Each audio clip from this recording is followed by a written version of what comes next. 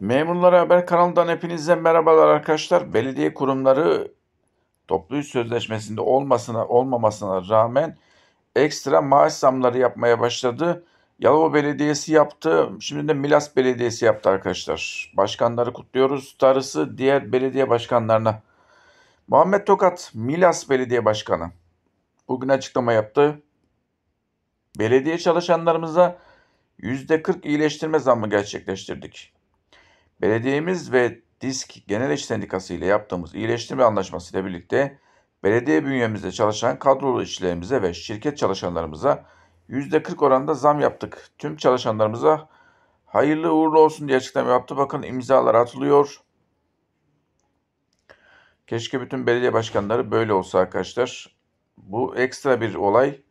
Hani toplu iş sözleşmesi değil arkadaşlar. Toplu iş sözleşmesi imzalanmış vakti zamanında ama bakılmış ki enflasyon çok fazla ve çalışan işçilere, kadrolu işçilere ve şirket bünyesindeki taşeron işçi arkadaşlara ekstra %40 zam yapıldı Milas Belediyesi'nde. Yalova Belediyesi'nde de aynısı yapıldı.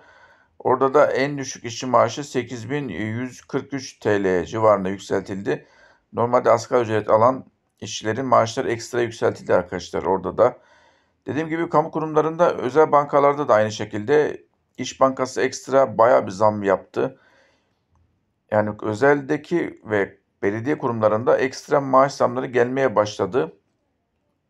Kamu kurumlarında sadece %42,35'lik bir maaş farkı verildi. Ekstra hiçbir zam yapılmadı kamuda çalışan işçilere, memurlara ve emeklilere arkadaşlar. AK Parti bence geriden geliyor.